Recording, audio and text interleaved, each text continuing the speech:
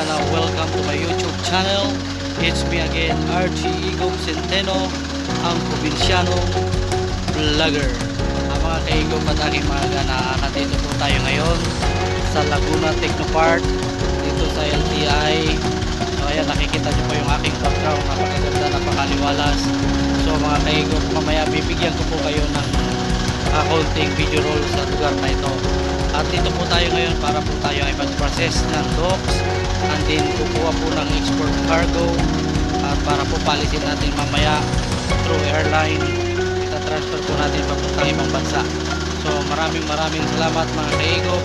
Hanggang dito na lamang po. It's me again, RG Igop Centeno, ang probinsyanong vlogger.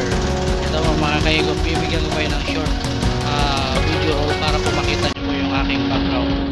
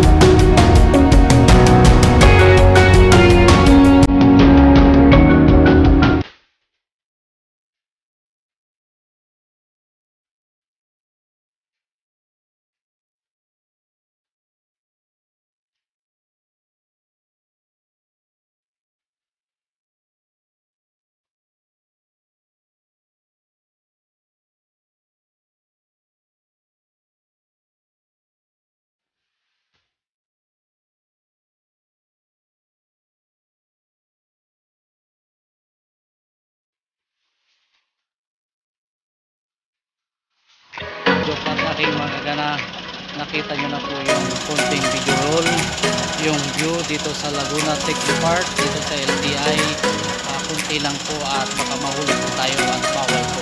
So mga kaigo pat aking mga gana hanggang dito na lamang po. It's me again RG Igo Centeno ang probinsyanong vlogger. Mga kaigo pat aking mga gana kung nagustuhan po yung akong video today comment down below and then paki-hit mo na yung notification bell. Paki-like share and subscribe po para po maging updated kayo sa lahat ng videos na i-upload ko dito sa aking YouTube channel. So hanggang dito na lamang po. Bye bye